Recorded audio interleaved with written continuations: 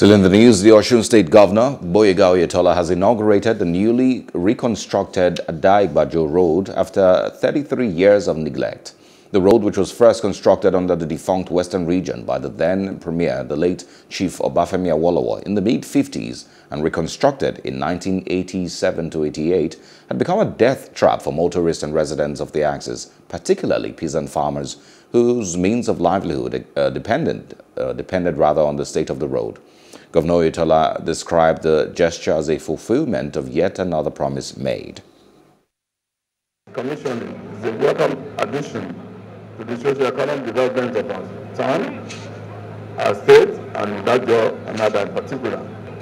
We are happy to report that this road was completed at record time and in line with approved specifications.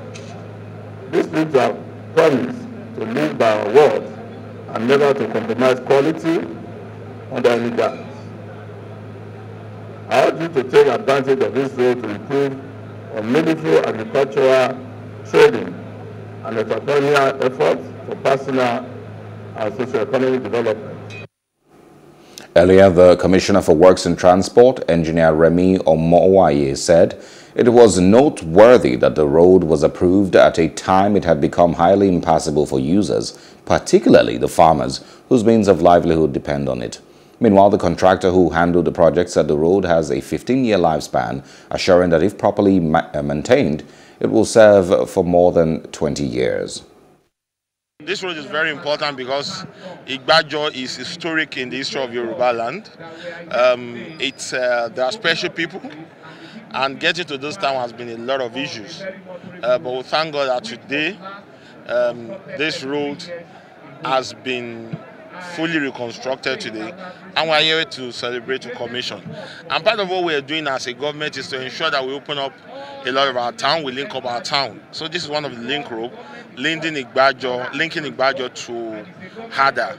So this road has been in use for the past 11 months. And from what you have seen, you see that the quality is very high. There has not been any major maintenance in the places where we need to put safety measures. The safety measures are there and the road has met specification. There are other access roads that lead to the town, but this is our main road.